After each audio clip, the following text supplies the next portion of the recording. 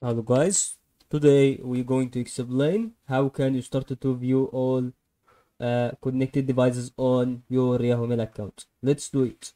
So recently what we can do is just to follow the video, make sure you subscribe if that goes to be always helpful and let's do it together. So all you have to do guys, you just go here on your Yahoo account and then as you can see I click here on account information.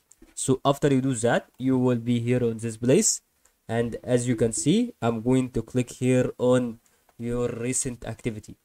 Once you click on recent activity here you will be ongoing through that.